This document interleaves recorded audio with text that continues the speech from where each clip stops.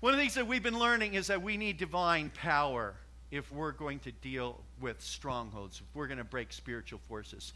And um, I understand that there are some of you who are just afraid of talking about spiritual things, spiritual forces specifically.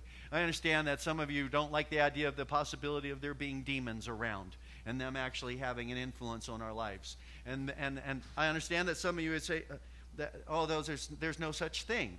Uh, that's just uh, something that happens in, you know, these, these really um, uh, underprivileged, backward cultures who just don't know. And so they credit everything to some kind of a god or some kind of um, supernatural power, and therefore they use it as a word name, the name demons. But, but we don't have to deal with that in America because we are much smarter. I'm not sure the denial of truth is very smart. But I understand that somebody say, you know, oh man, I, I just the idea of demons, uh, you know, gives me willies. No, I'm a willie, and so it gives me gives me this, you know, chill down my back. It makes me uncomfortable. It makes me nervous. I understand that, but here's the fact: God is real. Do you believe that? Jesus is the Son of God, divine power, came in the human form came in the flesh, died, and rose from the dead. Do you believe that?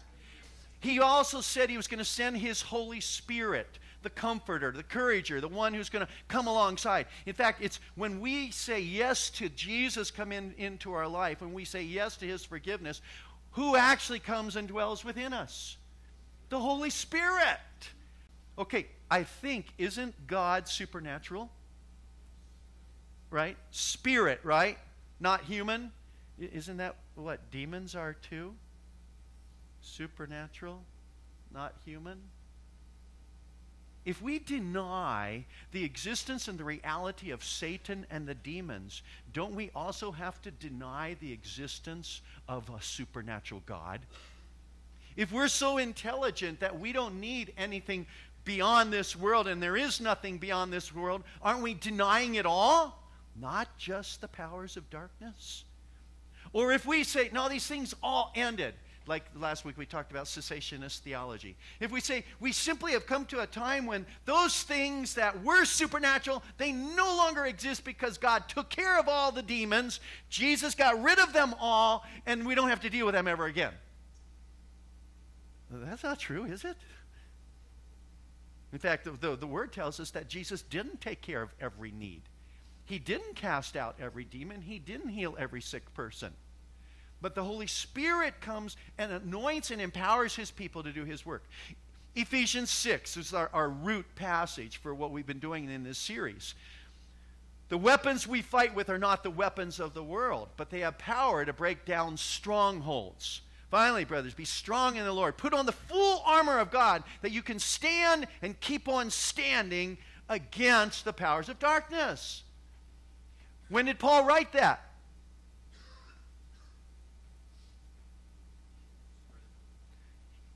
He wrote that somewhere around 60, 70 AD. Okay? The temple is about to be destroyed. Persecution is increasing. And Paul himself will lose his life on behalf of Christ. Did he say, okay, this is just for today. Finally, be strong in the Lord and the power of his might. Oh, by the way, that's just for the people that are alive right now. Those of you who are going to come later, centuries down the road, you're not going to need it because all the evil is going to be taken care of. Jesus said that Satan is a liar, the father of lies. And that may be one of the worst lies. No, you don't have to deal with evil anymore because it's all taken care of. The fact is, evil is still present today. And you can ignore it, you can be afraid of it, or you can realize that you have the resources to stand strong against it, and therefore don't need to be afraid. We need divine weapons. 2 Corinthians 10 4 and 5 says, For though we live in the world, we do not wage war as the world does. The weapons we fight with are not the weapons of the world, but they have power to break down strongholds. On the contrary, they have divine power to what? Demolish strongholds. This morning we're going to be looking at Nehemiah. And we're going to look at a weapon that I've already mentioned to you today. And the, the weapon, the weapon is confession. And it's an incredibly powerful tool when we use it properly, when we make use of it. Nehemiah actually confesses the sins of the people. In fact, he even puts an I to that. I confess our sins. And he goes corporate with his, with his prayer of confessions.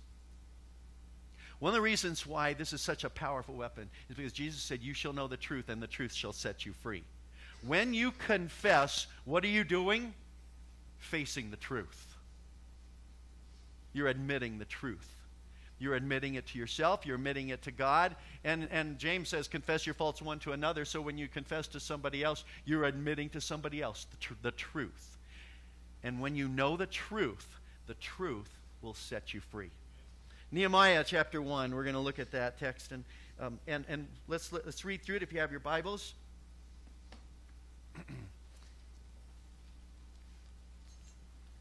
it's before Psalms if you're looking in your Bible.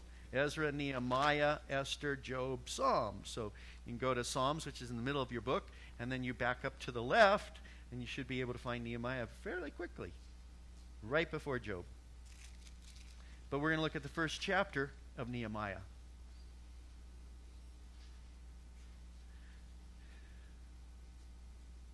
The words of Nehemiah, son of Hakaliah, in the month of Kislev, in the 20th year, while I was in the citadel of Susa.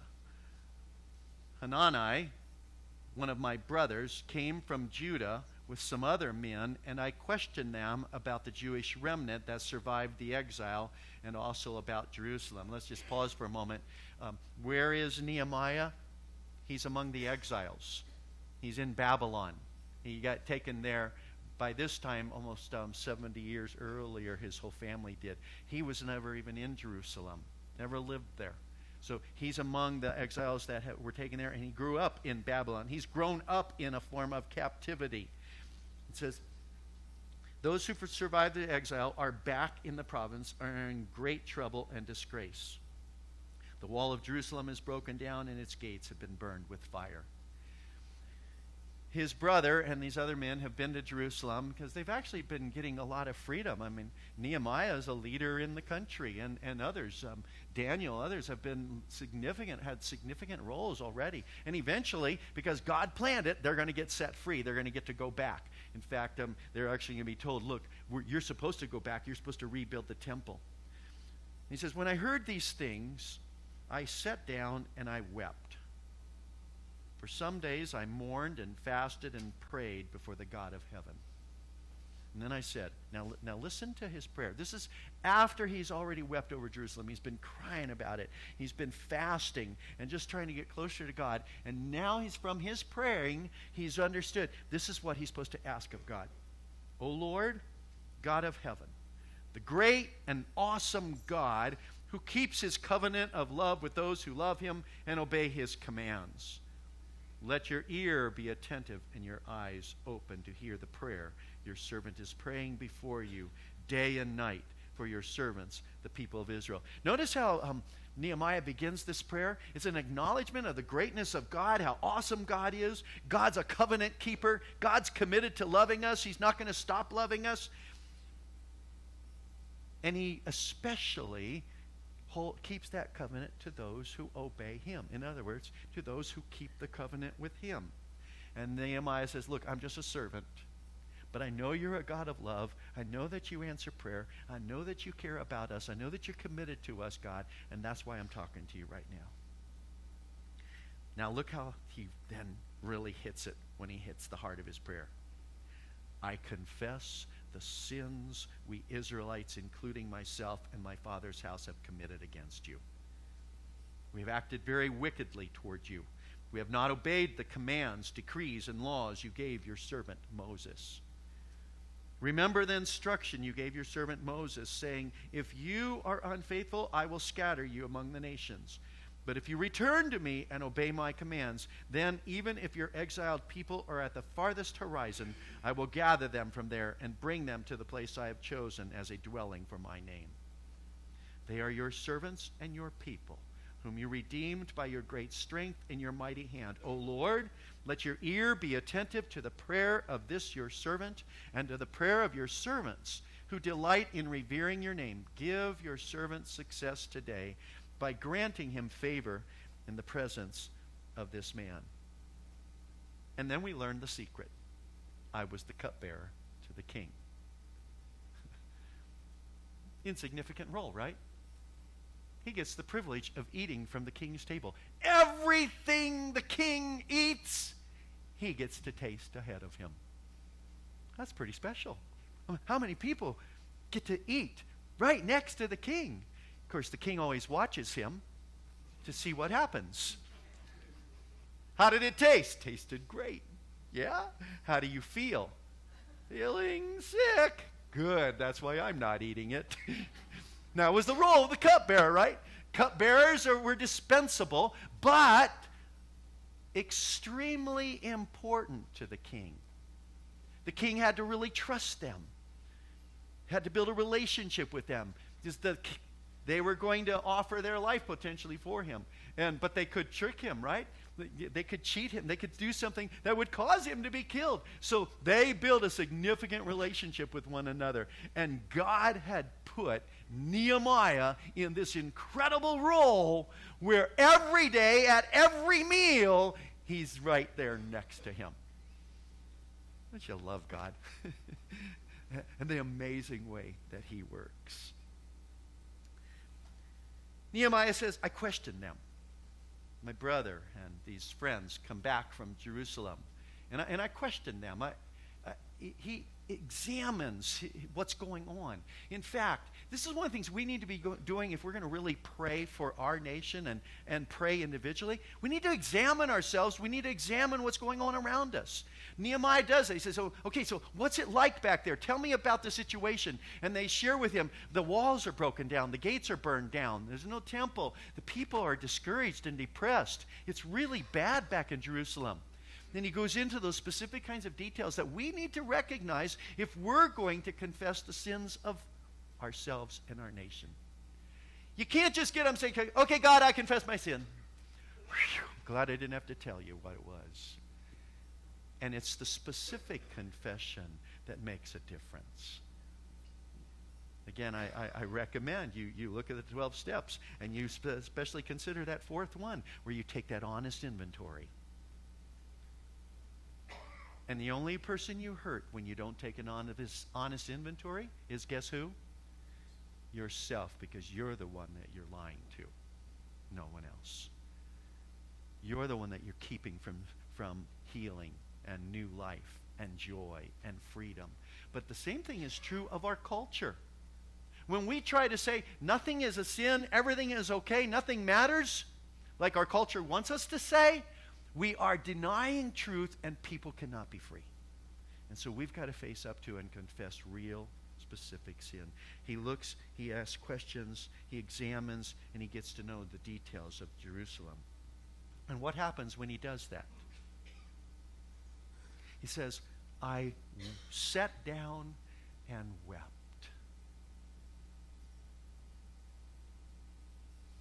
Have you been at that place?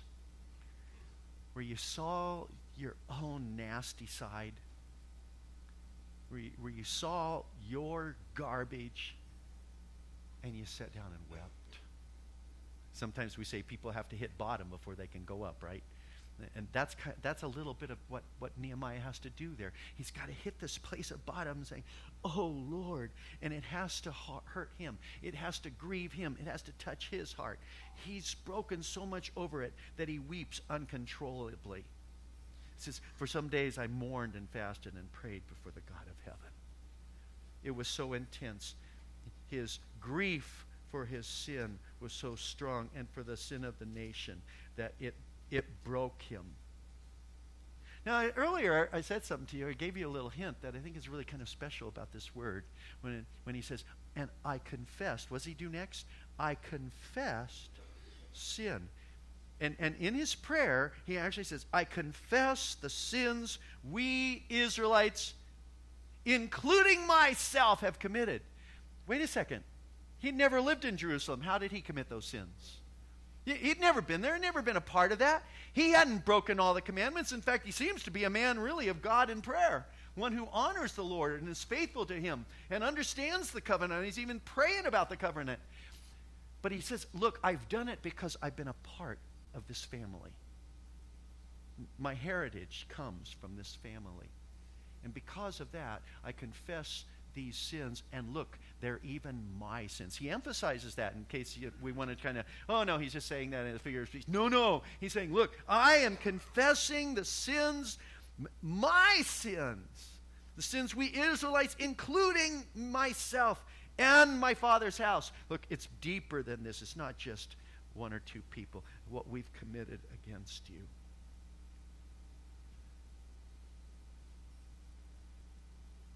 Psalm 51, David said, You do not delight in sacrifice, or I would bring it. You do not take pleasure in burnt offerings. My sacrifice, O God, is a broken spirit, a broken and contrite heart, O God, you will not despise. In order to get free, don't we have to get broken? We've got to come to that place where Oh Lord, I have sinned against you. We, have got to truth ourselves and truth the Lord. Second Chronicles says he removed the foreign altars and the high places, smashed the, the sacred stones, and cut down the Asherah poles. Why did I mention that verse? It shows you what it means to be broken. To be broken means you've got to smash the stuff in your life that's messing you up. It has to so bother you that you say, I'm going to get rid of it. I'm not going to hold on to some of this for later. I'm not going to continue this, you know, only change it a little bit. I'm going to actually break down. This is the problem with Israel. They kept the Asherah poles, they kept the idols, and they continued to worship them. They kept the high places. But when the king said, okay, look, Hezekiah, we're going to, we're to smash them down, we're going to break them apart, that's the same word as a broken and contrite heart. We need to smash the things that are inside of our hearts. Psalm 34 18 says, The Lord is close to the broken hearted and he saves those who are crushed in spirit. When you've really faced it, when you've really admitted the, the garbage, the sin, the stuff in your life that's not right, when you really get honest about that, there is a part of you that gets crushed. There is a part of your heart that just breaks. And you cry out because you understand, I've sinned against you, God. I have sinned. It's been now three years or so ago when we as a church tried to look at this in a corporate way and say, what, what are our sins as a church? And we, we took a weekend to do this and several weeks to really pray about this and finally came up with a sense that God was telling us that we had four sins that had been harming us seriously. And think about these sins. I think they're fairly common when you really look at them. The first one is disobedience. And the fact is, is that one of the chief sins of God's people, forget about the world right now, okay? Let's just look at us. Those of us who maybe say we're Christians, we, our chief sin is disobedience. And guess what? One of the worst sins that we're committing is the sin of disobedience to the Great Commission and to the Great Commandments love your neighbor as yourself and love the Lord with everything you've got in you. Go into all the world and preach the gospel to all people. And we are breaking, disobeying those commands in a serious kind of way. Disobedience. The second word, what we came up with, was dissent. Ever, have you ever noticed that, that the people kind of complain about other people? Talk about them, criticize, get judgmental, get hostile about them. Um, in fact, what I've noticed is sometimes those of us who are carrying the most garbage might be the most critical of somebody else's garbage. I think it's because we already smell what it looks like. We, it's already familiar to us. And so, so we recognize it in somebody else. But we attack and dissent and talk about instead of honoring and loving and blessing. The third word is deceit. You see, that's where we go. Uh, after we start disobeying, and then we started criticizing, uh, now what do we got to do? Well, now we got to lie. We, we got to lie to ourselves. We got to lie to other people. We've got to exaggerate about somebody else's so that wrong and their behavior so that they don't see ours. We, we got to put a mask on and pretend I'm, I'm great. I'm perfect. I'm not doing anything. And it's all a form of deceit. And then lastly, that leads us to disunity. And that's what we saw happening in our church, in our fellowship here that we had fallen into those four serious sins disobedience, dissent, deceit, and disunity. In discussing that, we said we are making a conscious choice to disobey. Oh, ouch. We are making a conscious choice to disobey. We have become un- unconsciously habitual in our disobedience. We no longer see the disobedience. And this means we need to repent. This is so easy to ignore even when the opportunity is staring us in the face. Our leaders and our church had to seriously examine that. What were we going to do about our disobedience? our dissent, our deceit, and our disunity. They were fierce weapons used against this ministry for too long. They put us in a form of captivity, place of darkness that hindered us from serving. Therefore, what do you do? When you uncover sin, what should you do with it? You got to confess it. Nehemiah chapter 1, verses 5 to 7. Nehemiah is now praying, I confess the sins we Israelites, including myself and my father's family, have committed against you. We've acted very wickedly toward you. Wow, how many of you like to use that word to describe yourself? I've been behaving wickedly. And you, he's saying that to God. God, we've acted wickedly towards you. But he's being honest. We have not obeyed the commands, decrees, and laws you gave your servant Moses. See, confession in this case was a corporate thing that Nehemiah was doing on behalf of all the people. And as he does this, something is going to happen that's going to be wonderful. The children of Israel are going to be sent back home. They're going to be set free from bondage. They're going to be brought back from exile because God, yes, God remembered his promise to them. And they remembered, remembered that if they would repent, God would respond. A gentleman named Arnold Fruchtenbaum has a cool name. said, Every time a believer sins, he's rebelling against God and therefore is subject, is not subject to him. Every time a believer sins, he's rebelling against God and therefore is not subject to him. Therefore, he must subject himself to God, and the means of doing so is by confession of sins. If we confess our sins, he is faithful and righteous to forgive us our sins and cleanse us from all unrighteousness. 1 John 1 9. But here's the cool thing about this word when I confess, I praise God. When I confess, I'm praising God. The word is yada.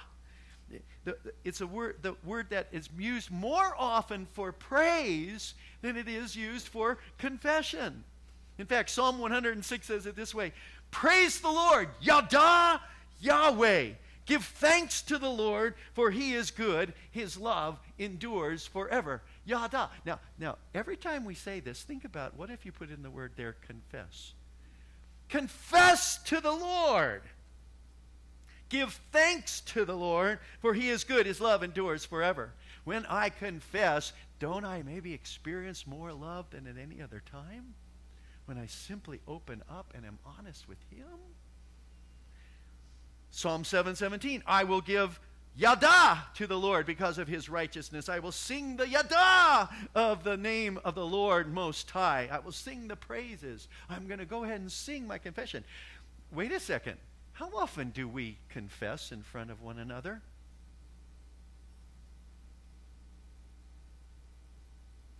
Now, we're supposed to praise all the time, aren't we?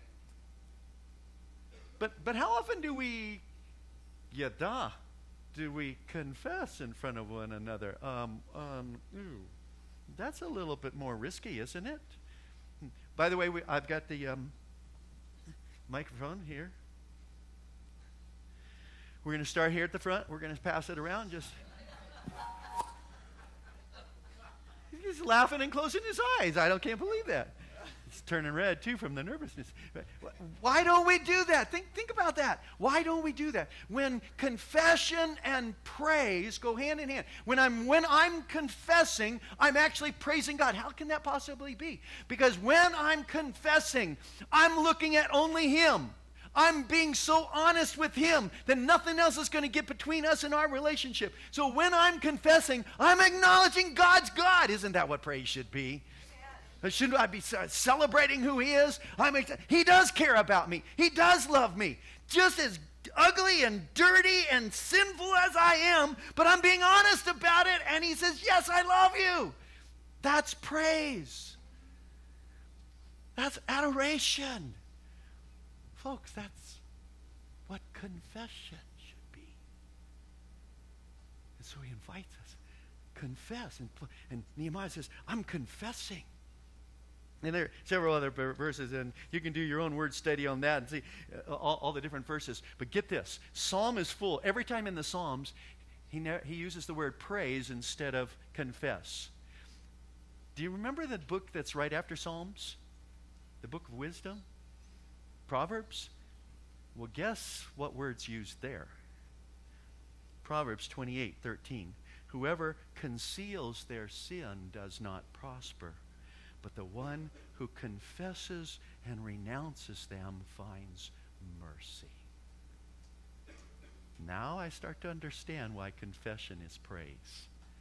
Because when I hold my sin in, I'm beating myself up.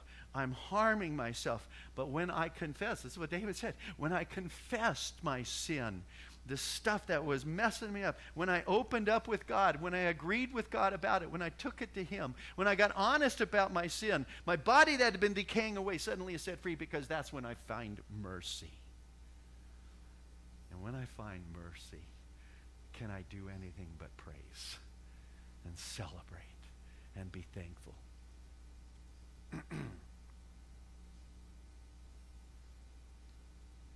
confession leads individuals to mercy. And confession, in Nehemiah's case, what he wants to teach us is confession can lead a people to mercy. And Israel will be set free. Think about it. If confession is good for individual Christians, then what will it do if a church confesses? If a church can just be honest about their weaknesses, their shortcomings, their sin, their disobedience, then, then what will God do for a church? Give it mercy. Equip it with mercy, with loving kindness, so that it can be a giver of that to others. Jesus challenged the seven churches of Asia with their sins, didn't he? He speaks to each one of them. He says, Look, uh, listen to me. If you have ears to hear, listen to me. I want to say some things to you about you. I've got these things, and frankly, I've got these things against you. And, he, and he, each time he points out, he says, I've got this sin, this thing against you. He identifies, for example, for Ephesus, he says, You've forsaken your first love. You've forgotten what really matters. I've got it, I'm holding that against you to, to Pergamum, he says, you, You're giving into false teaching and, and, and you're eating food sacrificed to idols and you're committing sexual immorality, and your world's trying to say it's okay. To Thyatira, he says, You're also committing sexual immorality and, and you're studying the secret things of Satan. Whoa.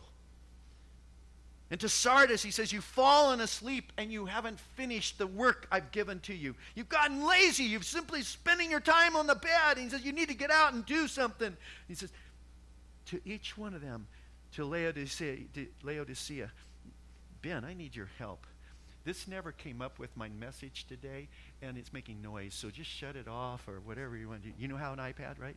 Good, thank you. because it's now ringing, telling me about the Rams and. And I'm a Cardinals fan, so. and they're losing too, so I really don't want to know it. I don't know. they have been, so probably are again. That's right, they're playing each other, aren't they? Well, no wonder it's the Rams and the Cardinals telling us stuff. Okay, let's check it out.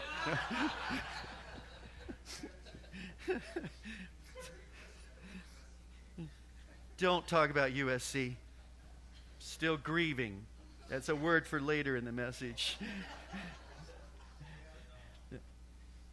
Laodicea has become lukewarm. They're not hot or cold. They're just blah. They're yucky. They're gross. They taste terrible. You, you want to spit blah out of your mouth. Even Philadelphia and Smyrna have needed to hold firm and seek the Lord in the midst of their persecution. And to each one of them, he says, What? Repent. Repent. You got to be broken in your heart. You got to turn from what you're doing. Repent, and I will come. I will bless. Daniel does the same thing. Daniel confesses the sin of the people for his nation as well. Daniel, the Daniel of the lion's den, famous Daniel. The interesting thing about Daniel's prayer is that he's confessing the sins of his ancestors over centuries and the sins of the people that he personally never committed. He identifies the shame that they felt as a nation because of their corporate sin. In fact, that's what God actually wanted for them, wasn't it? says, I, I want you to be embarrassed. I want the nations to see that I've deserted you because you deserted me. You've chosen to worship all these other gods, fine. Go have your other gods.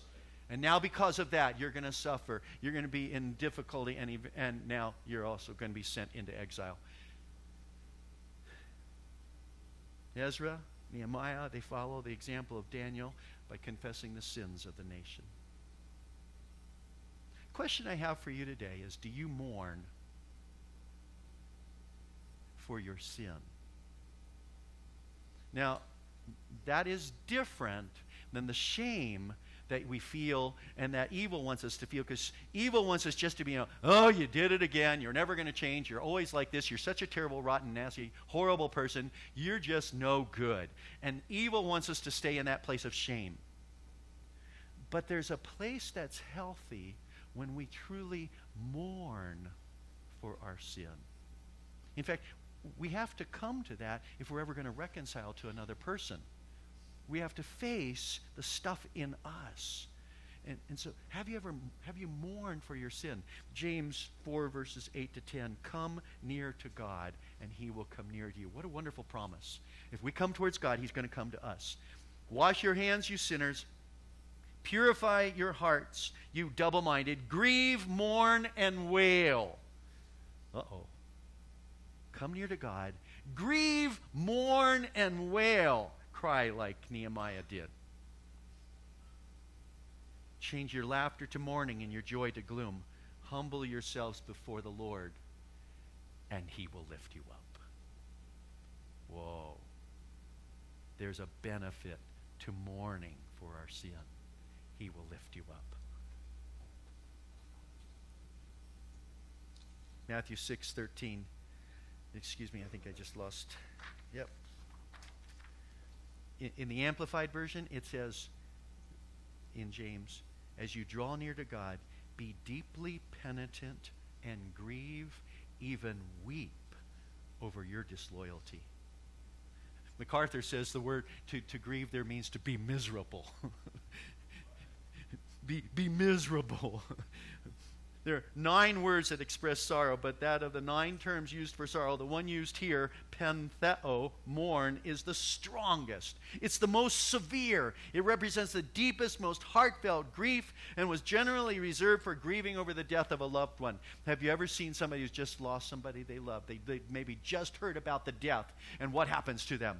they, they can just they're uncontrollable sometimes and oh no and it's just you can't you can't hold it back. The grief is so intense so strong so forceful. He says that's the word here when he says we need to grieve and mourn for our sin. What happened to david when he stopped hiding his sin? He began mourning over it. He said, Before that, it was messing up my whole body. But he says, When I finally admitted it and when I confessed it, that's when I got free. And not only do you mourn over your sin, but do you mourn over our sin?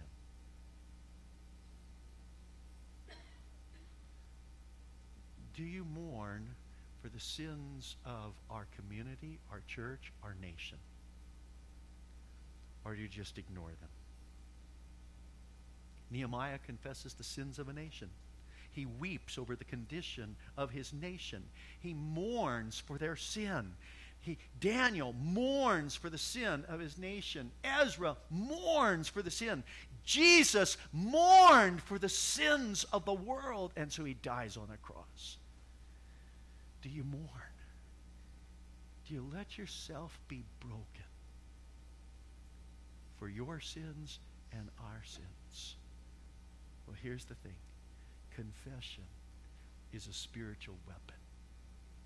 Use it. Use it. Go to God and be honest. Confession breaks the stronghold of sin. Confession breaks the stronghold of Satan. Confession sets us free. So, what do I want us to do today?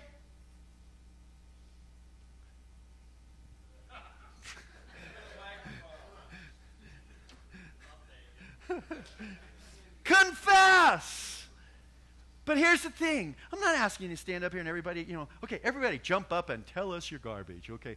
Well, I was on the internet last night and I uh, was watching, you know, you know, porn for three hours and all, and, uh, and, uh, and uh, you know, we don't need to hear about that. We don't need you to praise your sin, okay?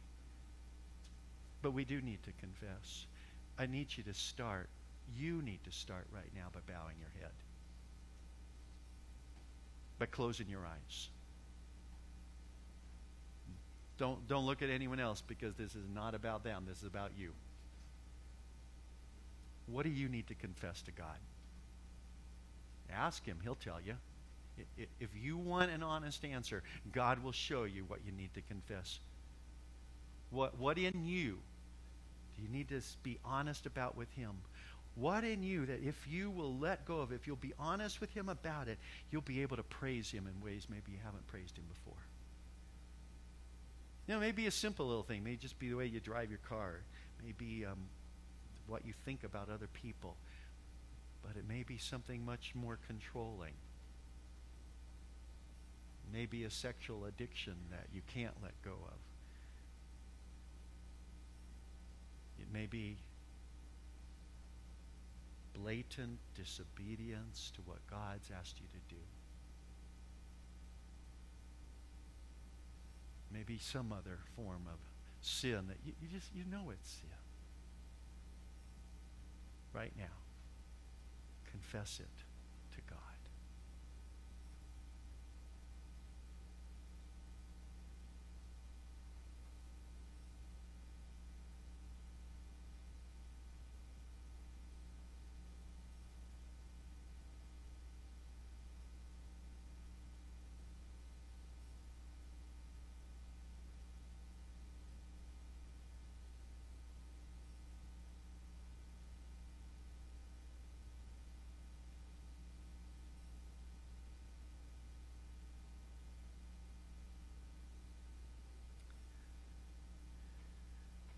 Have never had an abortion. You maybe never had sex outside of marriage. But our nation is so committed to worshiping sex that we also worship the right to take a human life. And as a nation, do we weep over the millions of lives that have died, that have been murdered, for something we call choice. As a nation, we are wealthy, we are proud, we are self serving, even when we are helping someone else. We give because we want to see our gift.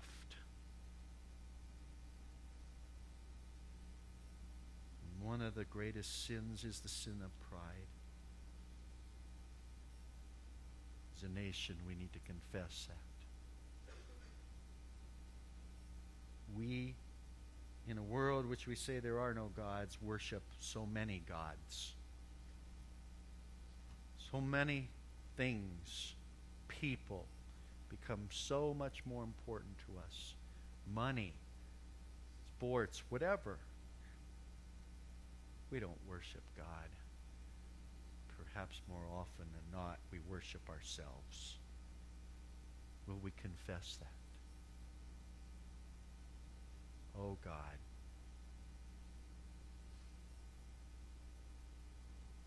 We confess our sins to you. And we want to be free of them.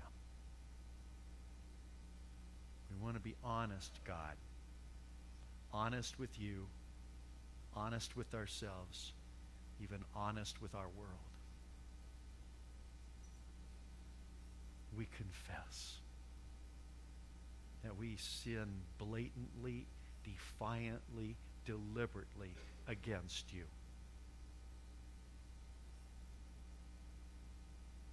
and we are sorry.